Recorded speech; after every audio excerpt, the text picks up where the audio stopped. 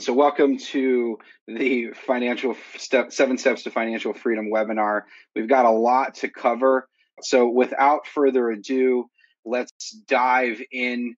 Uh, for those of you who don't know who I am, I'm Grant Sabatier. I'm the author of Financial Freedom. Book came out last year. It's in over 10 languages. I'm the creator of millennialmoney.com which is a personal finance, investing, and entrepreneurship website. Since I launched it in 2015, over 20 million people have visited the website.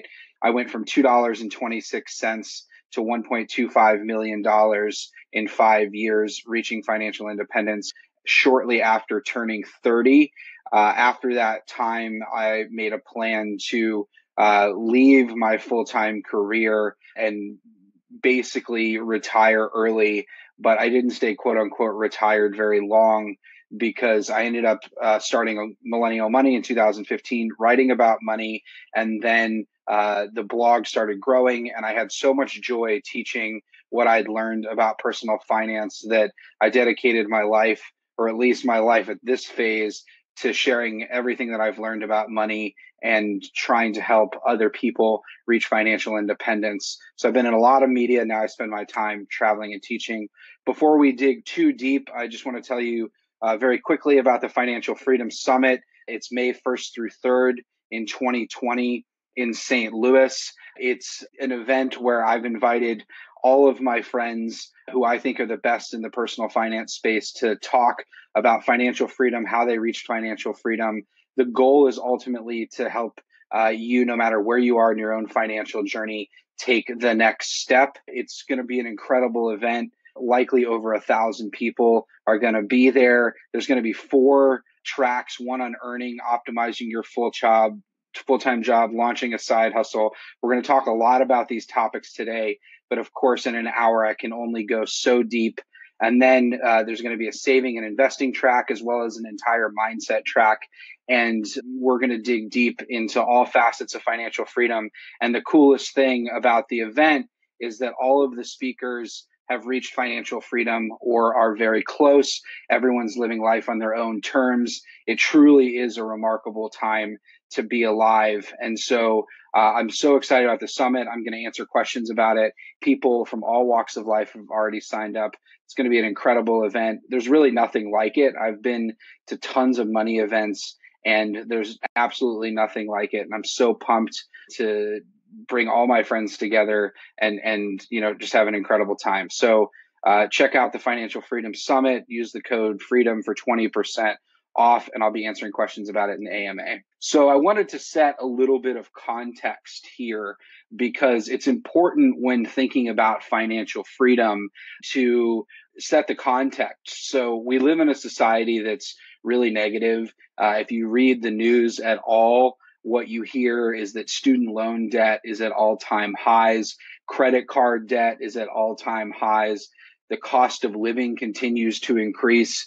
Uh, wages have stagnated. We're earning less money as millennials than our parents did. Americans are saving less than 3% uh, of their income. We're going into a recession at any minute.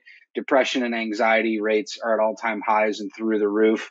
Uh, if you read the news, a lot of what's written about money is extremely negative. And if you fixate on that, and I get emails about this all the time, if you just fixate on those negative statistics, it, they become self validation. And so if, if you have student loan debt, a lot of people have student loan debt. Student loan debt is something that you can build a simple strategy to get out of it and not let it cripple you.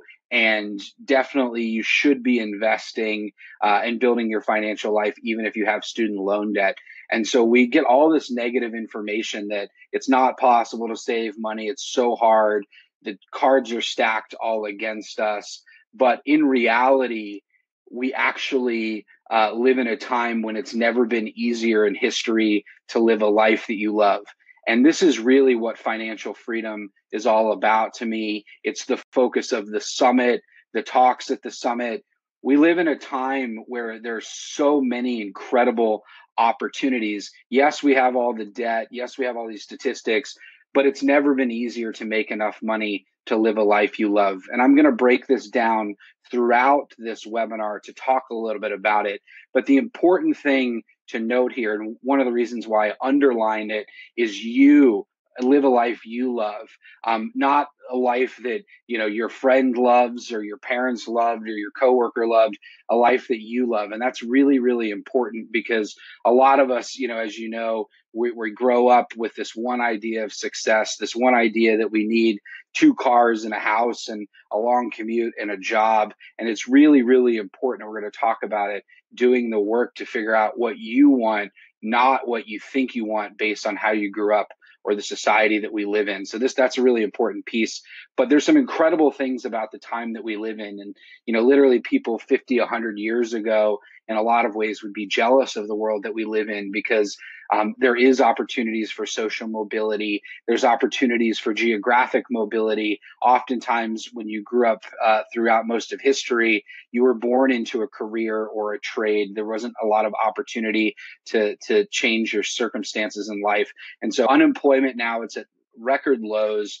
Uh, and that means the demand for talent has actually flipped. And so, in a lot of cases, as an employee, you have so much more leverage uh, than you perhaps that you realize. I mean, l- literally every company is lo- almost every company is looking to hire now. They're paying higher and higher wages. It's tougher to keep talent. Very difficult to be an employer. It's an incredible time to be an employee because you actually have more leverage your if your company wants to keep you, you can use that as negotiating power to get a raise. And we'll dive into that a little bit more.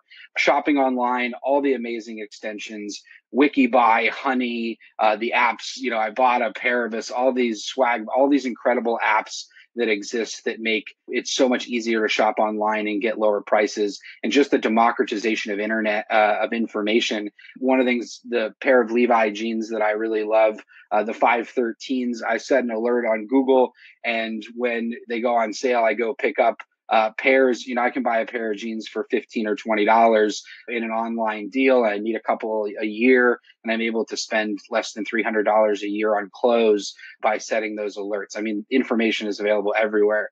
We have location flexibility uh, so much more than ever before, which gives us not only opportunities to make more money, but more flexibility with our time. So I'm seeing a lot of cool things happening where people in all different industries, because they can work remotely, they're working for a company that's based out of New York or Chicago or LA or Dallas, Texas, and they're able to get those wages like they would live in those cities, but they're actually living in much lower cost of living areas, places like Idaho, Minnesota, other places in the Midwest, uh, even abroad, and they're able to make big city salaries but live in low cost of living areas and ultimately invest the difference. Um, the internet's opened up incredible opportunities for side hustling. You can learn almost anything for free online. You, you know, YouTube is just immensely, immensely incredible in terms of learning new skills. Everything I know about accounting, I've learned on YouTube. Everything I know about running Google campaigns, I learned on YouTube.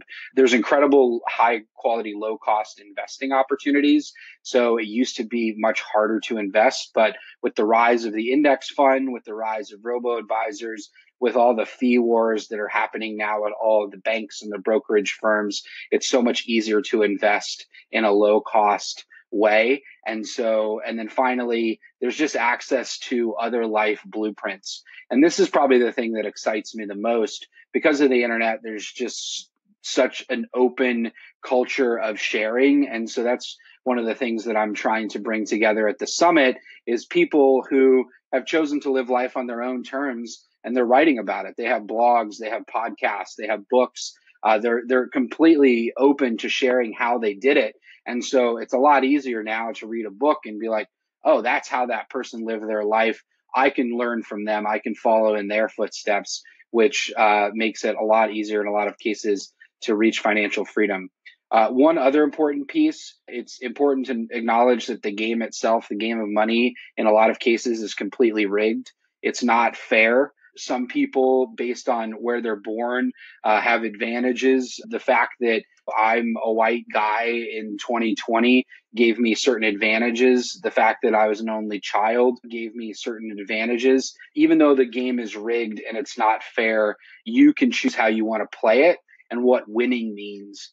And that's an important piece too, because a lot of people, when they think about the money game, what winning means is having millions of dollars or having a bigger house or a bigger car or more possessions than the person who lives next door to you, but you can choose what winning means. And that's extremely important. You know, you can't control where you're born, who your parents are, where you grew up, where you went to high school, what you look like.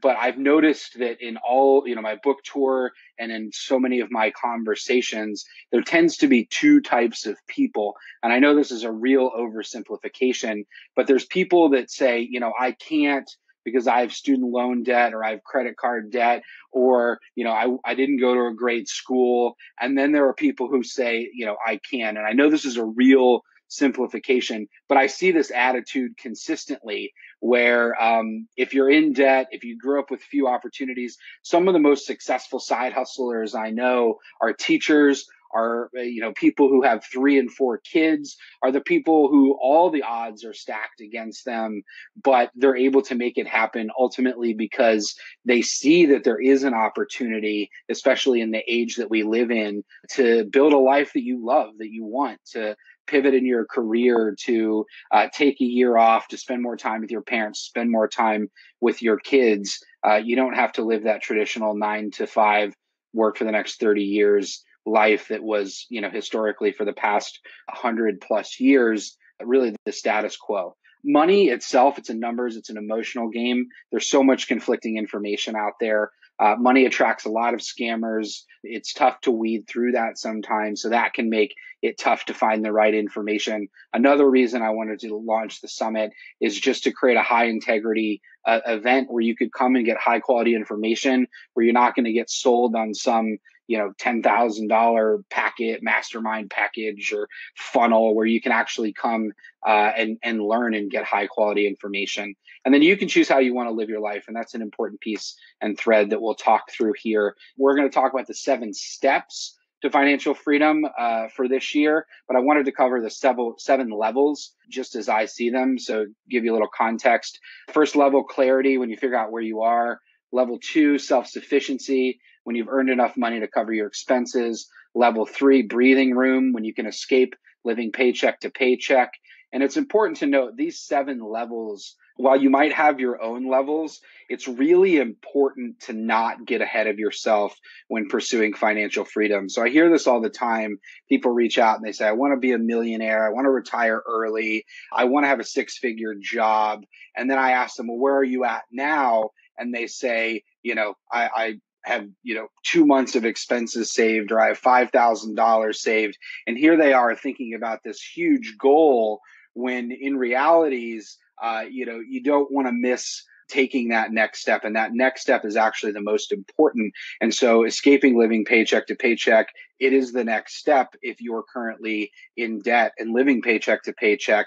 Uh, you don't want to get ahead of yourself too quickly because oftentimes when we set such large goals then we just don't take that first step. So, uh, stability when you have six months of living expenses, flexibility when you have two years of living expenses invested, financial independence is level six. When you live off the income generated by your investments forever, we're going to talk about that a little bit more. And then seven is abundant wealth when you have more money than you'll ever need and you can spend your time giving away your money, uh, building a legacy plan. But now I want to dive into really the four components of building wealth there's earning money, there's saving money, there's investment growth, and then there's being tax efficient. So, minimizing your taxes. We're going to talk a fair amount about each of these in the rest of the webinar.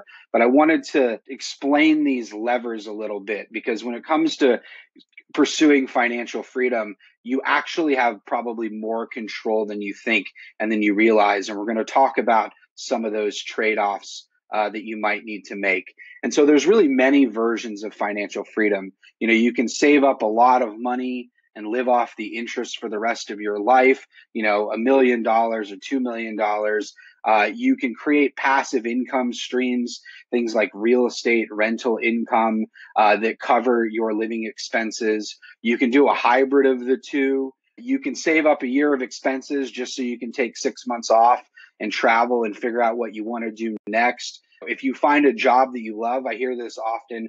People are like, well, you know, I love my job. I don't want to retire early. I like what I do. Uh, congratulations, you've won the game. There's no one size fits all of financial freedom. It's important for you to choose your own adventure, have a relationship with money, realize that it's going to change as you change, and, and have some fun with it. Let's dive into the seven steps. Number one, what does financial freedom mean to you? And so this is really essential to think about because uh, it, it mean, means something different to everybody. I asked this question when I was promoting my book. I asked this question on Twitter last week and got over 400 responses. And a lot of them are really different. One person was getting out of debt. Another person said being able to have enough money to spend time with my mother who's getting older. Another one said having enough money to save my kids to college. Another one said being able to have enough money to leave my full time job uh, to spend more time with my kids who are growing up. Another person said, I want to have enough money to be able to travel the world for a year. And it really runs the spectrum. And so it's important to always think about what does financial freedom mean to you? What kind of life do you really want? Because before you answer this question, it's so easy to get caught in always chasing more money, always chasing the next promotion, always trying to maybe buy the next thing. And so, what kind of life do you really want? Um, and then thinking about more versus enough. And so, more often is the default. But I've talked about this before when I actually made a list of the things that make me happiest in life. And I've shared this exercise before. A lot of the things that make me happiest playing guitar, with my friends, playing board games with my wife, walking my dog in the park on a Saturday. A lot of the things that I enjoy, reading books, writing, are pretty inexpensive or actually completely free.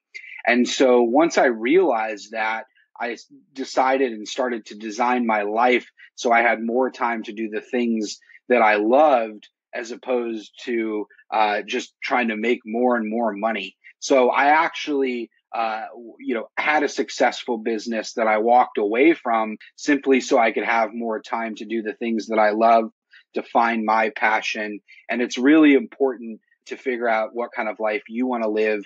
And then after you figure out what kind of life you want to live, fitting in your money life to support that. And we often get it backwards. It's often how much money do I need for the rest of my life? When the first question should be what kind of life do you want to live? And then figuring out how much money you need. And then based on that, the less money that you need to live on, the less money that you need to save.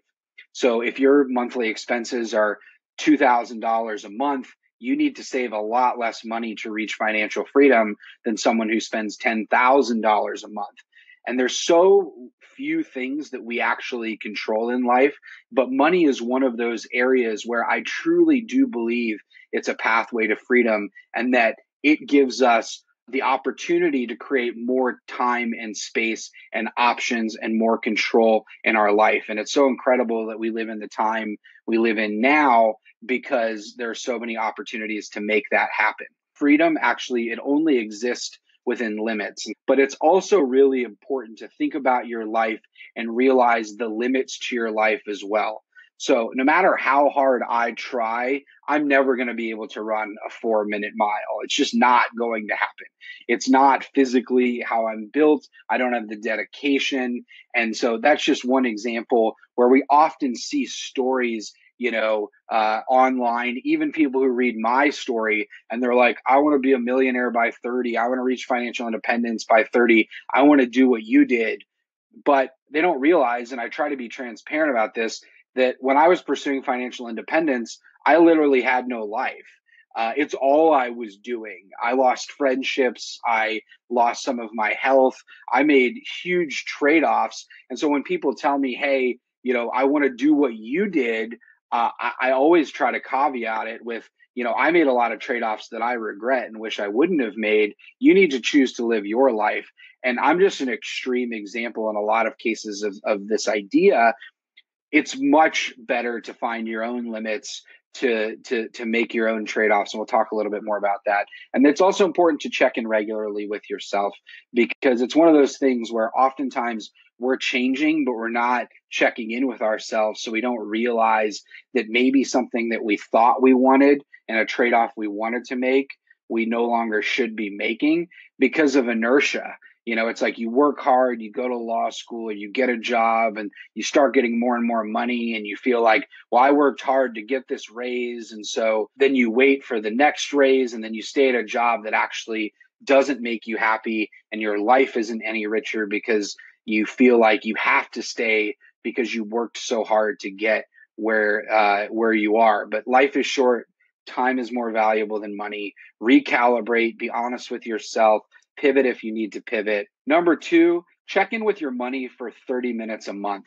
And so this is something that I just wanted to double down on and recommend for this year because I still see far too many people who, you know, check their money really infrequently. And so uh, if you've read Financial Freedom, you know, I actually recommend that you check your money five minutes a day, counter to popular wisdom, which says that you should check it once a month.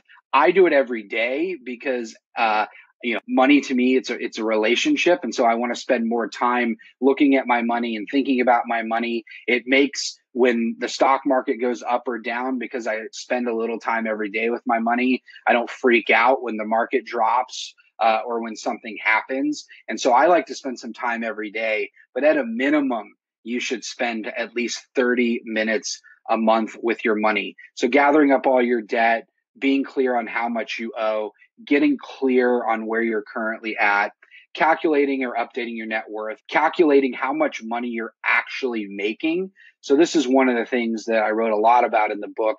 And I think is very important. Uh, Robin, the author of Your Money or Your Life, came up with with this calculation, figuring out how much money you actually make after you take out things like uh, time for commuting and getting ready, you likely make a lot less money than you think. But it's important to figure out what that number is. Calculating your savings rate, looking at your expenses from 2019. It's a great time now as you start getting together all of your paperwork to put your taxes together, send it to your accountant, or to put it uh, in your online tax tool. Uh, really start to look at what you spent last year and think about how it made you feel.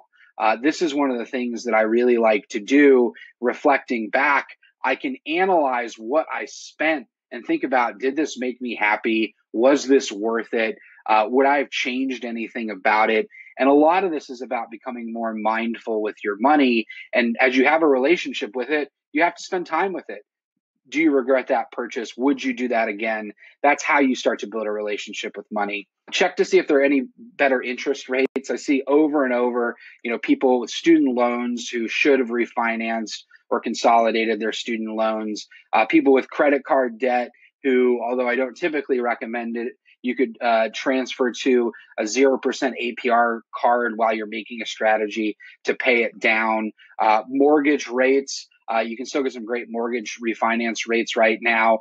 Just, just it's worth doing a simple search to see what's available out there because you could potentially be saving, uh, saving quite a bit of money, especially if you have debt uh, and you want to pay it down. Um, and then the last thing, pull out your job offer letter and your benefits guide for your full time job. This is something that's really important. You're getting paid to do a specific job, which is hopefully outlined in your job letter look again at those responsibilities. If you've gone above and beyond, those are things that you want to note. That's information that you want to use when you go and ask for a raise. Uh, also, looking at your benefits guide.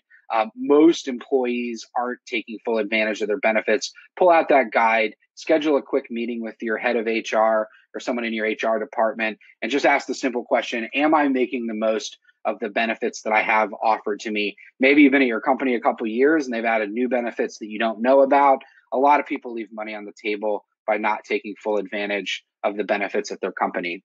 So, very quickly, how to calculate your net worth. It's your financial scorecard. It's your assets minus your liabilities. Your assets, it's anything that you can sell that's of value, things like your investments, your house, your furniture, minus your liabilities, which is anything you owe, any type of debt. Um, there's a lot of different net worth calculators out there. There's one on the financialfreedombook.com slash tools area of the website. It's here. You can plug everything in on your phone and calculate it. Uh, very important to get clear on your net worth. Two great apps that I use Mint, it's completely free. Personal Capital, it's completely free. I track my net worth. I've been doing that for the past uh, eight years on uh, mint.com. Uh, and with the Mint app, track your net worth. It's your financial scorecard. Doesn't matter how much money you make. What matters most is your net worth. Is it going up? Are you worth more than your debt? Track your net worth. Extremely important. The other thing you want to calculate your real real hourly wage, how much money you're actually making. And so this is something I also built another calculator at financialfreedombook.com slash tools. Uh, it's the real hourly wage calculator. Simple idea when you factor in things like commuting, getting ready, uh, time traveling to clients, time shopping for work, time decompressing from work, any time that you would have spent differently if you didn't have to work for for a living, you should factor that into your real hourly rate. Um, you know, this guy Matt, who is a friend of mine, is a management consultant. He reached out, uh, you know, once I started writing about money, and uh, you know, he's like, you know, I'm really stressed with my job. I want to spend more time with my kids. He was making over two hundred thousand dollars per year, and when we actually looked at his numbers, because he had to travel uh, every week for work and all that travel time he would have spent with his family. He would have spent it differently. When all that got factored in, he was only making about $30 per hour. Uh, he quickly left his full time job and actually got a job at a nonprofit, w- making less of a salary, but his hourly rate went up. So the time, the amount of money that he was trading for his time actually went up. And he was able to spend Fridays with his kids. You know, he had a lot more flexibility and the amount of time that he was working was less and his salary was less, but how much he was making per hour was actually a lot higher than, than when he had this $200,000 job. So you want to make sure that you're comparing apples to apples uh, when evaluating job opportunities, the ROI of your side hustle. And the way you do that is by understanding your real hourly rate and you can you know calculate that using the calculator that I built at Financial Freedom Book com slash tools. And then last but not least, your savings rate. So your savings rate is the total percentage. So you've got your net worth, which is your scorecard, your assets minus your liabilities, your real hourly rate, which is how much you're basically trading your time, time of your life, an hour of your life that you're never going to get back, how much you're trading that for for money. And then finally, your savings rate, which is your percentage of your income that you're saving in all of your accounts. And so this is the third most important number in your financial life. And you want to m- monitor all three of these things. And your savings rate, there's a direct correlation between how much money you're saving, the percentage of your income, and the years that it's going to take you to reach financial independence. The average person in the United States saves less than 3% of their income. It's why most people are living paycheck to paycheck and they're never going to be able to retire. It's really important to understand how much you save. I calculate mine in percentages and in dollars. I built this simple calculator uh, at the same website, financialfreedombook.com slash tools. You don't have to buy the book. You don't have to own the book to use the tools. They're all free. They work on your phone. Check them out. Thousands of people use them every month uh, to calculate. They're super simple, super easy to use. And so you can just plug in how much money you're saving in each account. You can do this once a month. You can do this once a year. It actually calculates uh, how long it's going to take you to reach financial independence. So those are really, really important. This is just something that uh, I built off of the Mr. Money Mustache model, which is how uh, many years uh, do you have to work to save one year of living expenses based on your savings rate. So you can see that if you're saving 10% of your income, it takes nine years of work to save up one year of living expenses. But if you get your savings rate to 25 to say 50%, uh, you know, it takes a lot less time. So there's a direct correlation between your savings rate and the time that it takes you to reach financial independence. After you think about what financial freedom means to you, what kind of life you want to live, you get clear on where you're at, you calculate your net worth, your uh, real hourly wage, and your savings rate. The third thing that you should do is really think about what trade offs are you willing to make.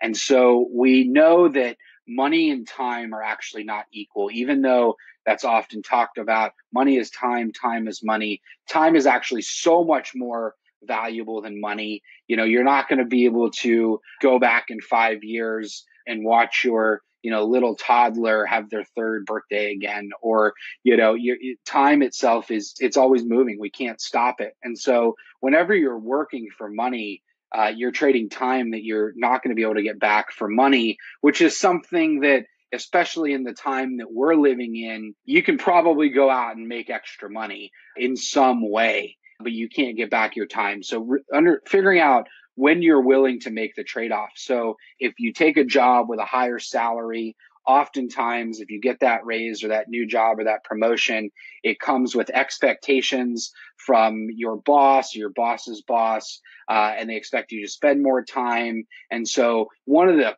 coolest trends that I see happening now. And there's some data out there about this. Actually, more and more millennials are rejecting salary increases because it comes with increased responsibility and thus more time that they would need to spend working, more stress. And so it's not always about chasing more and more money. It's about is money helping you live a life that you enjoy, that you love? I always say saving is an opportunity, it's not a sacrifice saving is how you ultimately reach financial freedom. And I encourage you to think about why you want more money in the first place, because it's naturally, it was hardwired in me. It was hard, it's hardwired in a lot of people to just always go and, you know, chase more money or try to make more money. But in reality, time is so much more limited than money. You can always go out and make more money. So what trade off are you willing to make? And none of the freedom matters if you actually don't take advantage of this. So I see a lot of people pursuing financial freedom, they're saving more and more money. I was like this once I started on my journey. I just kept trying to invest, trying to save more money. I just didn't stop. When in reality, a lot of the freedom that I was craving, I had two years, three years before. I didn't need to save a million dollars to have more time and space and freedom in my life. I wish I would have noticed that. That's why it's important to always check in with where you're at in your financial life and adapt and just think about am I willing to make a trade off? You know, a lot of people stay in really toxic jobs that they hate because they feel like there are no other options. When once again, based on the data, there are more jobs available than ever before. It's never been easier to pivot to a new career. There's often just this irrational fear around leaving a job when in a lot of cases you can always go back or always get kind of a similar job to the one you have. What you can't get back is the 10 years that maybe you didn't pursue your dream or do something that just would have made you a lot happier, even if it made you less money. So, getting to know money makes understanding and making those trade offs a lot easier to make. Number four, pick your budgeting style. So, for those of you who know me, I'm pretty anti budget. I like to keep it really simple, but it's important to pick the style that works for you.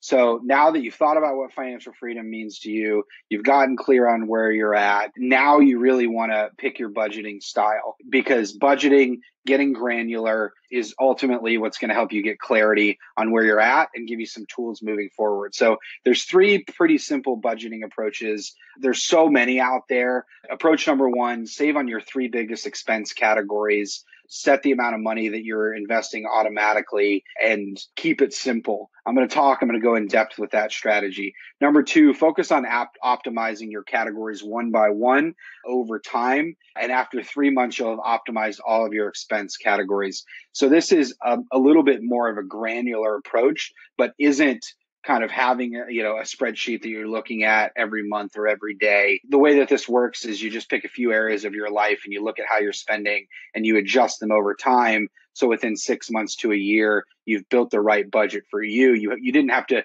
jump in to the deep end of the pool or work out 7 days a week. You know you can ease yourself into it. And then number 3 tracking all of your expenses in a spreadsheet uh, or tool like YNAB is a good one. And you know, this is kind of the traditional bu- budgeting method. But the one that I am most a fan of is saving the most money where you spend the most money. And so the average American spends 70% of their income, their after tax income, on housing, transportation, and food. And that's because you spend the most amount of money, that's where you can ultimately save the most amount of money. And you know, moving to a smaller apartment, buying a used car, not having a car, cooking at home, buying bulk groceries, keeping your food costs low. It's actually pretty interesting. I even though I moved to New York and I live in New York now, I actually spend less money on food in New York than I did in Chicago because it's so competitive. The restaurant market is so competitive here. You can just get world class food a lot cheaper than anywhere else that I've found in the United States, which is something that I didn't expect. And so I want to talk about just the compounding impact of some of these small decisions because we often think, oh, you know, just moving to a smaller apartment or just driving a used car. Our mind, it's hard to conceptualize how much money that could actually save us. And so it's important to think about some of these calculations. And so I did a simple example, and this was in my own life. I used to live in a $1,500 a month apartment uh, back in 2011 in Chicago, and I was spending quite a bit of money on my rent. Now, in some cities, you know, 1500 is a deal, but in Chicago at the time, you know, that was a lot of money for rent.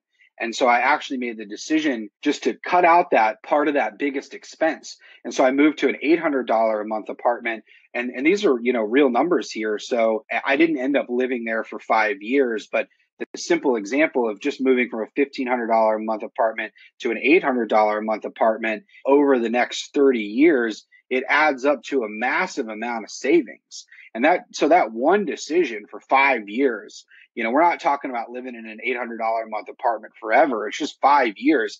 That one decision over 30 years at 7% compounding, which is a somewhat aggressive investment return based on what I think is going to happen in the future. But, you know, based on the past, you know, 50 to 100 years, 7 7.2% is the average inflation adjusted return of the US stock market. And so using that, just that one decision over 30 years, you know, would increase your net worth by over $300,000. And so being able to calculate and think about money over the long term, these small decisions, this is what moves the needle. I mean, this is what gets you the freedom over time. You know, house hacking, I'm not going to dive into this. This is one of my favorite strategies to completely reduce or eliminate your housing expense. There's many types of house hacking. You can read about it. Uh, there's a great book by Craig Curelop wrote a book that came out last year called The House Hacking Strategy. It outlines very simply uh, how to house hack, how to use your home as a path to financial freedom. It's a great book that I recommend. I write about it in, in Financial Freedom as well, but Craig goes into a lot more depth than I do in, in my book. Learn about house hacking, rent a three bedroom or four bedroom instead of a two bedroom, especially if you're young, offset the cost of your living expense as long as you can and invest the difference. Do that for a couple years and you've increased your net worth by hundreds of thousands of dollars. And you don't have to do it forever. That's an important thing as well. You know, I often mention that the next three to five years of your financial life are the most important because what you want to do right now is is save as much money as you can so you can get that money growing for you over time. And so back in the day, you know, when I did this in 2011, that money now has just continued to grow and is still growing and will continue to grow hopefully for the next 30, 40 years, depending upon how long I live, just because that one decision. And so I, I just can't reiterate that enough. And the same example of just buying a used versus a new car, the average American, uh, it takes a year of their life to to buy a new car. They work an entire year of their life to buy a new car. And if, if that brings you a lot of joy, that makes you happy, by all means do it. Just realize the trade off that you're making. But if, if they would have invested that $40,000 instead and maybe drove a $2,000 car over 30 years, that money would be worth over $280,000. So just those two simple decisions, moving to an $800 a month apartment and buying a used car instead of a new car, they're going to be six to seven hundred thousand dollars richer in 30 years. That's an insane amount of money just from making two small decisions. And the thing about most of us, you know, we buy a new car, say every 10 years or five years, instead of trying to decrease our expenses for a period and saving that money, we just keep spending more and more. And so a few of these simple changes, another piece, the average car costs $8,469 a year to own. If you invest that money that's another like say you invest that money each year and you carpool or you know you just take Lyft or you take the bus or you walk to work or you work remotely so you don't have to commute. I mean, that's another $250,000 that you could have saved at least. You know, so just those three decisions, you know, is almost $900,000 that you'll have in 30 years. I mean, that's enough for most people to retire. And that's just from making two decisions to move to a smaller apartment for five years and drive a used car instead of a new. And this is just meant to illustrate that just a couple of doing a couple things the right way makes a massive impact over time. And when you do four or five things well, I mean that's all you need to do. And and that's it's really important to when you're thinking about these things and this is why I put this chart together. You know, you can see on the left side the net impact of say reducing your housing expense by $500, reducing your transportation expense by 100 your other expenses by 500 so say you're saving an additional you know $1200 a month or $14000 a year. The impact of saving $14000 per year you know as you're making more money i think a lot of people can do that you know if they stretch a little bit. Just that money you know over 30 years you're going to have almost 1.5 million dollars and then on top of that if you invest your raises if you side hustle and you invest your side hustle income uh, here on the right side, your investing income. If you add all that up, that just increases the impact even more. So just just putting your raises away. I mean, you can see just a couple decisions here. You know, you'd have 1.8 million dollars in 30 years. So uh, you know, this isn't rocket science. It's just making a couple good decisions over and over. And so it's important for you to think about your life going back to those levers. Which ones do you want to push what trade offs are you willing to make? Maybe you want a house hack for a couple of years and live in a crappy apartment or drive a crappy car like I did, so you can save up $300,000, which over the next 30 years could be a couple of million. But you have to decide what trade offs you're willing to make. So, you know, here are a couple of variables to think about what's going to have the biggest impact. Two sides of the same coin, making money and saving money oftentimes with personal finance in the money world, we write so much about cutting back, so much about frugality, spending less. But in my opinion, there's a limit to how much you can can cut back. There's not, you know, as much of a limit to how much money you can make. And so going out and trying to make three hundred thousand uh, is probably going to have a bigger impact than, for example, cutting your expenses by $5,000, especially because incomes tend to increase. There's more opportunity to invest, more opportunity for your money to grow. So that's why I write so much about making more money, optimizing your full time job, side hustling. We're going to talk about that in a second. But how much you make, how much you spend, how much you save, how much you invest, how much you save in taxes. Taxes is one of those things, just investing in the right accounts the right way. I write a lot about this in Financial Freedom.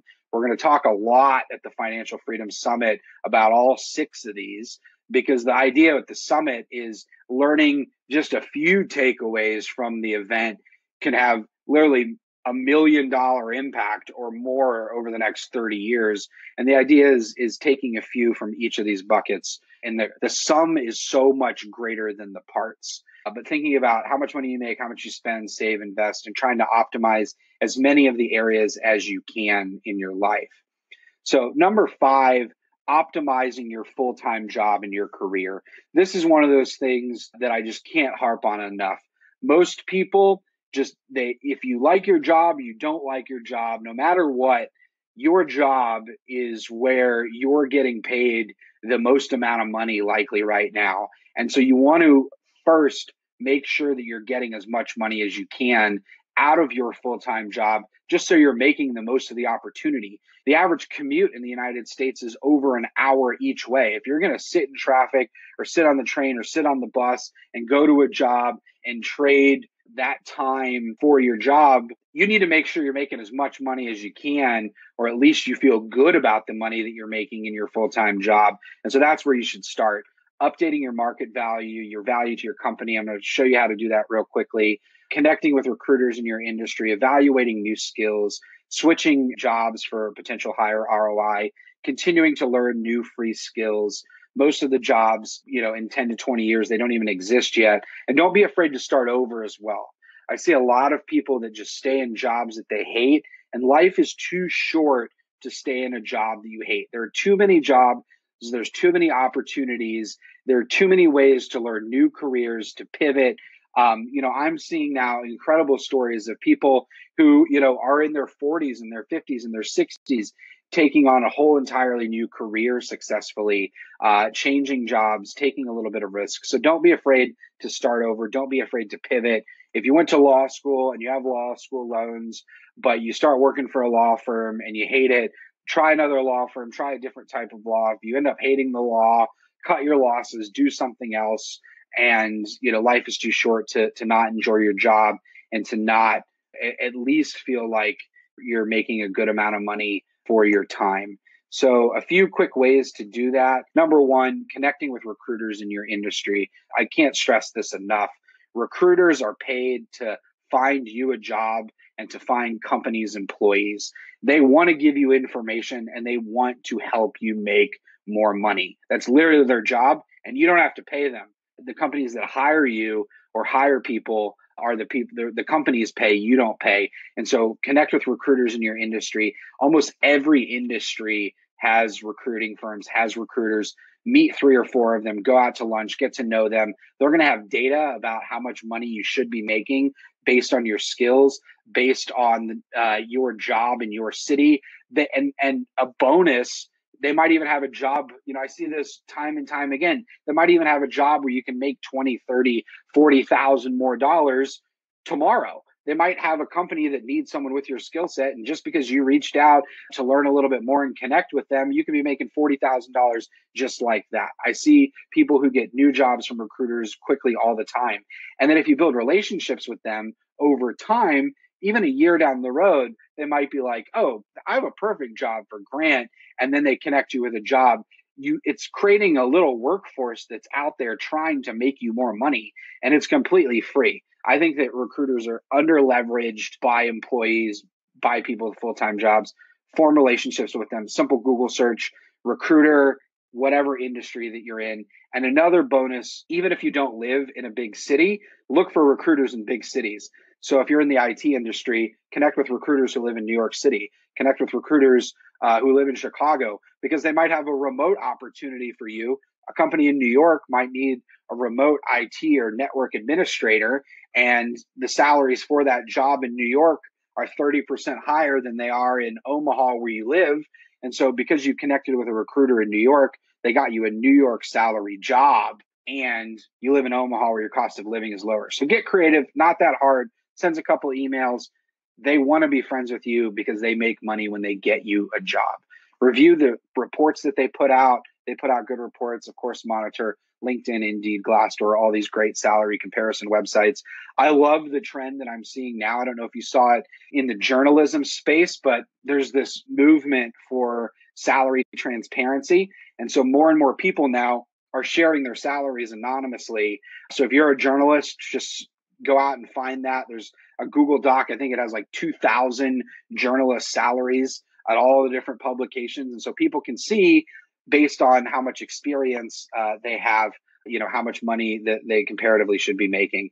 Uh, and then connect with competitor companies. This is a no brainer.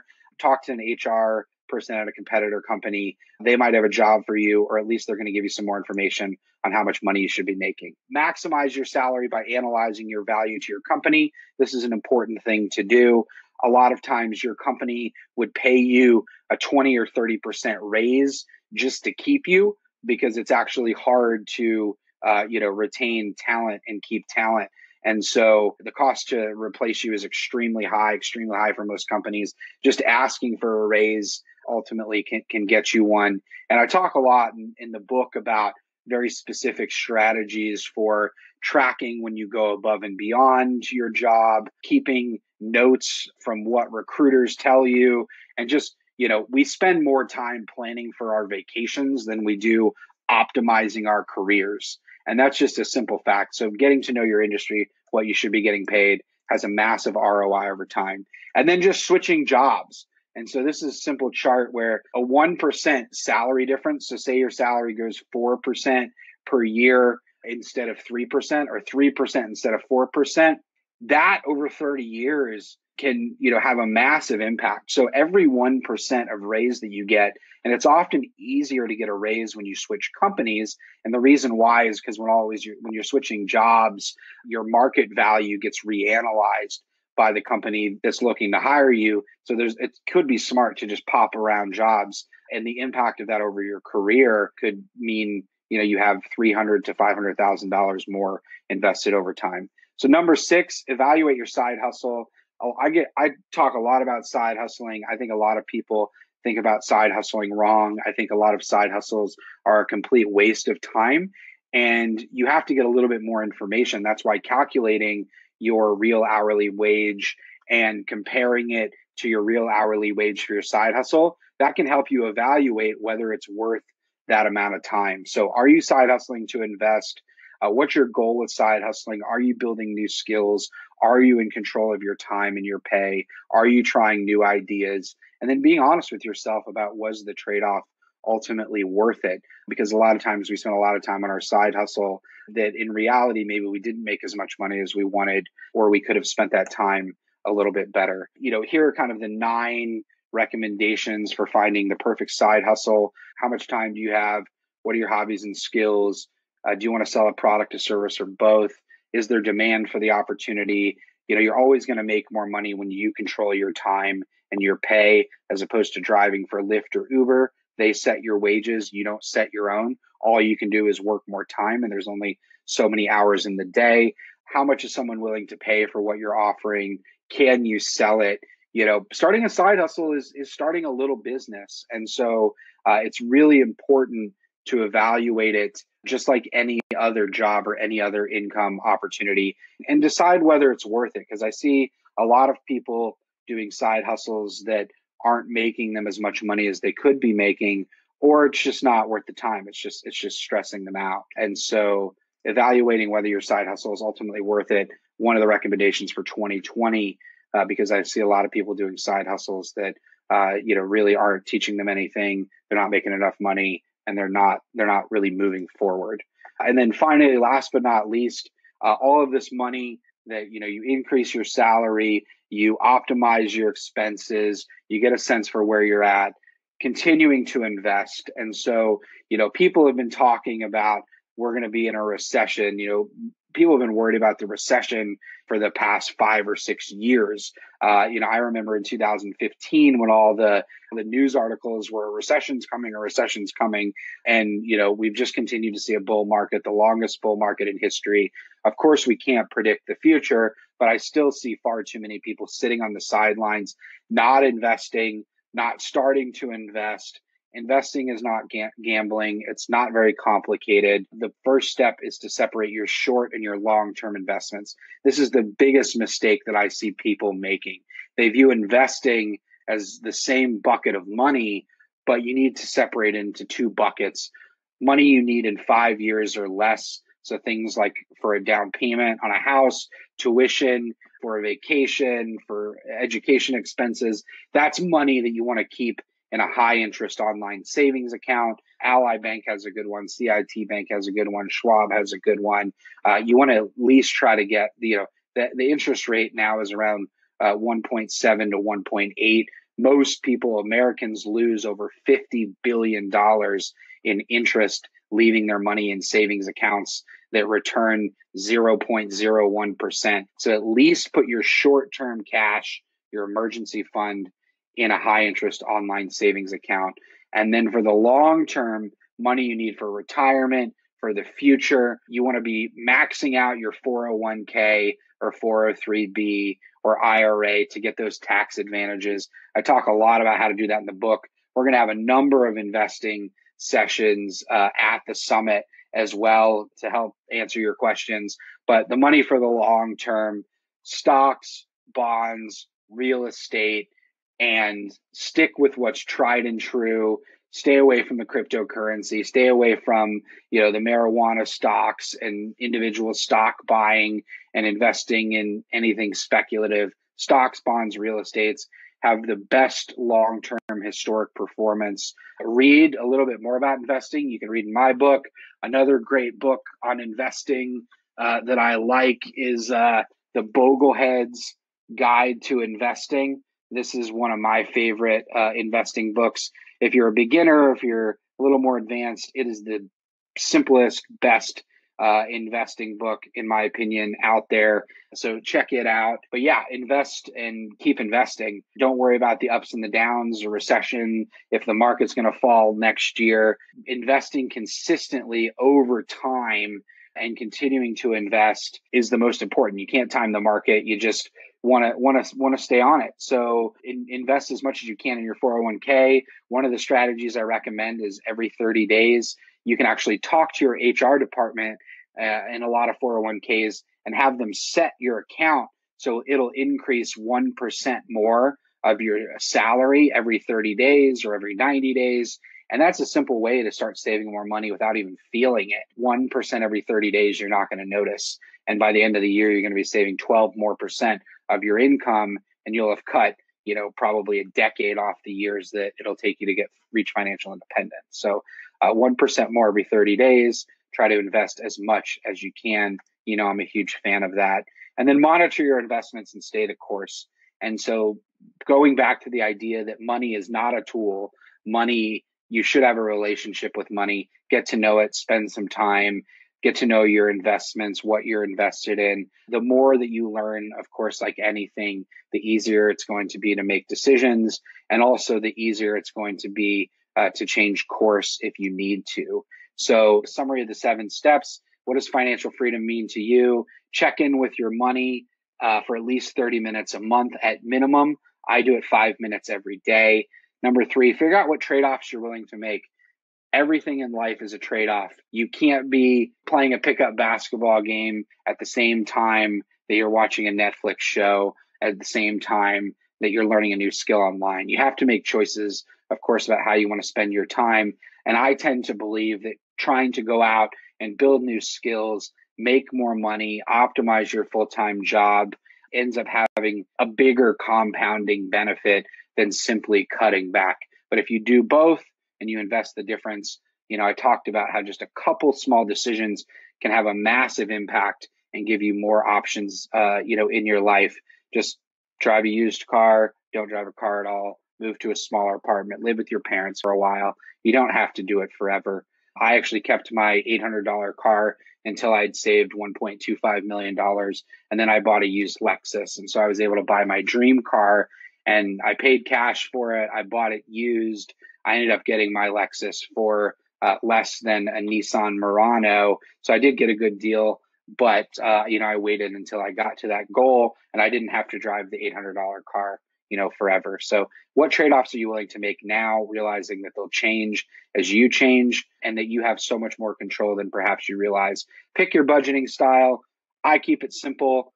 I don't look at the money coming in and out that closely. I just try to keep my housing, my transportation, and my food costs low, and then I invest the difference. Optimize your full time job. You're going to be able, just like you're going to be able to save the most amount of money where you spend the most amount of money, you're going to be able to make the most amount of money right now where you make the most amount of money. And so optimizing your full time job and your career, spending more time on your career development, analyzing how much money you could make with different career tracks, building those skills. I talk a lot about that in financial freedom. I'm so excited at the summit because there's going to be so many different people from so many different career tracks, you know, from doctors to lawyers to teachers to, you know, all walks of life and that's what I'm most excited about because no matter what job you have, there's probably going to be a couple people at least who are in the same career as you, and you can team up and, and learn from each other.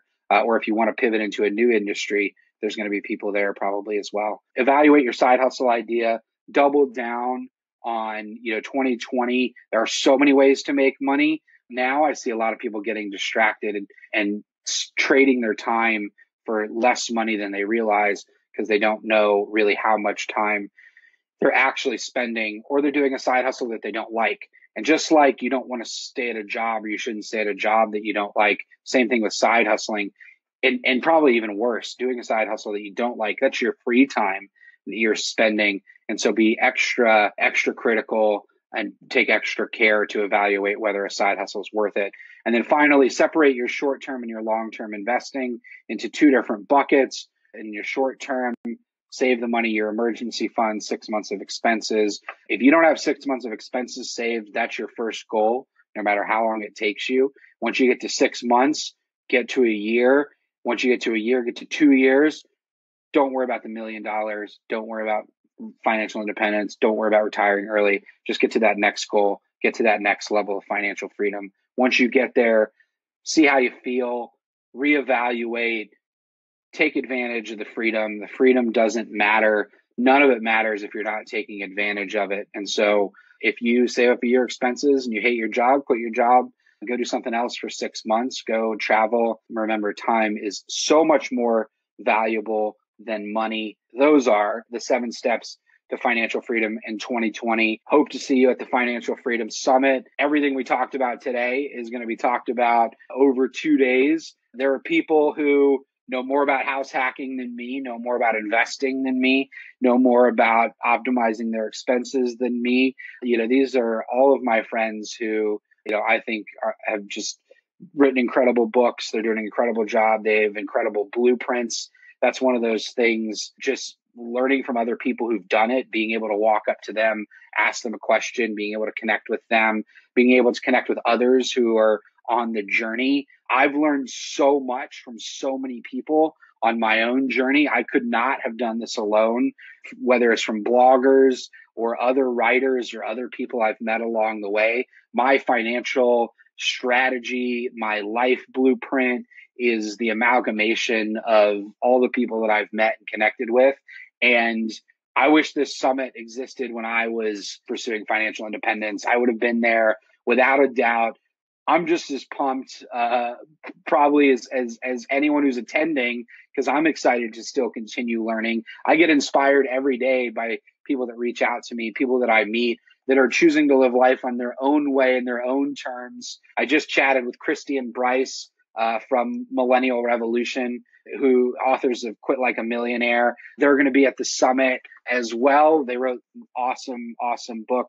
They're good friends of mine. They travel the world full time. They retired in their early 30s. Incredible uh, investing strategies, know more about geo arbitrage than anyone uh, that I've ever met. They're going to be given one of the keynotes. They're going to be doing a breakout session on their investing strategy and how to how to travel basically for less money forever than you know living in a city. So they're going to do a keynote a breakout session a book signing a q&a and the cool thing about the summit is we're you know all of us are going to be there. We're going to be accessible. You can ask me questions. I'm going to be doing a couple talks and you know vicki robin uh, you know, who who came up with so much of this and is my mentor and, and dear friend. She's going to be there keynoting and doing a couple sessions. Uh, and it, it's going to be amazing. We have over 50 speakers who are just completely open and literally the nicest people that I've met in my entire life. And the cool thing about, you know, founding a summit is I get to invite who I want. And I'm only inviting who I think are the best people in this space. And I'm so excited that just learning from uh, you know, a couple things from a couple of them will just have a massive impact, you know, hopefully on your life over time. And, you know, we're building a community. I mean, that's also what it's about is, you know, learning from the other people who are in attendance. And, you know, we're all on this journey together. You know, we live in a world now, like I said, more debt than ever before, lower wages, higher cost of living. Yet here, more and more of my friends are living incredibly awesome lives and living passionate, fully alive lives. And so that's what I'm really pumped about the summit too, just because I meet people all the time who are, you know, living life very differently than I live. And it's just, it's amazing.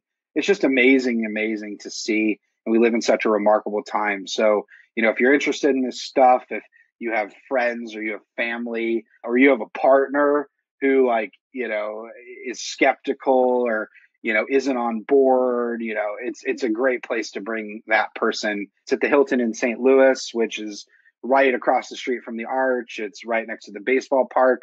There's awesome restaurants. The hotel is affordable. Flights to St. Louis are affordable. The reason we picked St. Louis is we wanted um, everyone to be able to get a ticket, get flights, get hotels, split it with a friend, you know, to be able to come for seven or eight hundred dollars or less in total.